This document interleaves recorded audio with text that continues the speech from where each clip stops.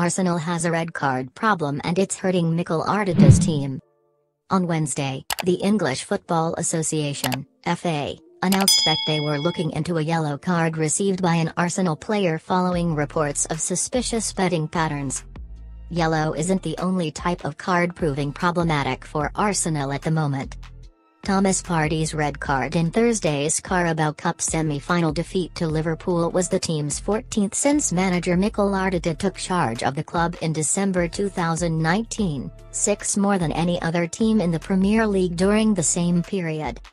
The context of Partey's dismissal made for even grimmer reading.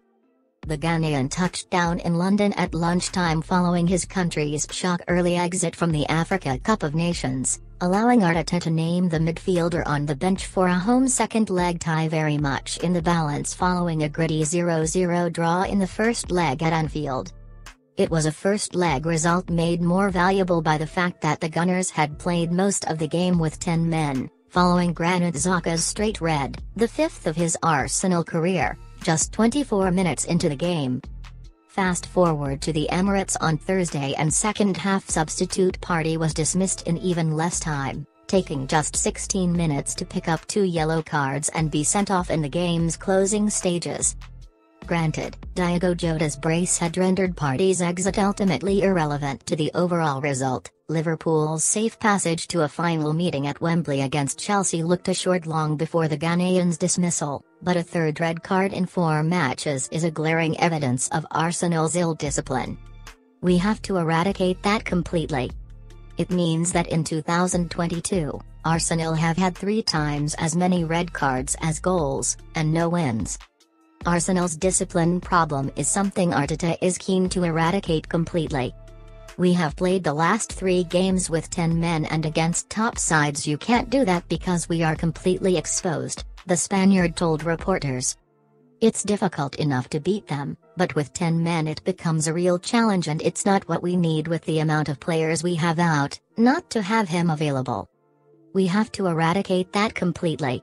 We want to be competitive, we want to be winning matches and having a good sequence of matches again, we have to stay with 11 players. Teenage angst. At 24.2 years, Arsenal have the youngest average age of any starting 11 in the Premier League this season. Following a slow start, Arteta's young side, emboldened by the dazzling performances of academy graduates Bukayo Saka and Emile Smith-Rowe, have put themselves firmly in contention for a top four position and a long-awaited return to the Champions League. The last time Arsenal played in the Champions League was during the 2016-2017 season. Youthful exuberance has rejuvenated an Arsenal side and fan base that had at times looked bereft of hope a few years ago, but there is a corresponding argument to say that same inexperience is to blame for the current blight of red cards. The dismissal of 24-year-old Gabriel Magalhaes during the chaotic clash against Manchester City on January 1 was a perfect encapsulation of this argument. The defender booked twice in just three minutes to put his team in the lurch after a superb first half showing against the Premier League champion. Gabriel's exit left Arsenal clinging on before Rodri's late winner for City. On the flip side, at 28 and 29 respectively, Partey and Xhaka represent two of Arsenal's most experienced international pros, suggesting accountability for the team's spate of red cards falls upon both young and old members of the team.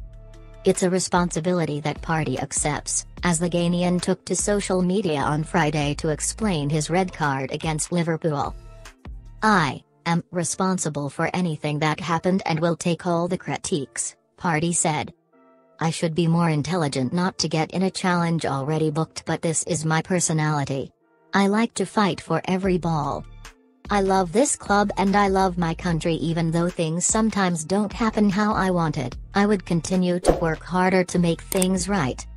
If you liked our video, click like and subscribe to our channel, follow the Warm News on our channel.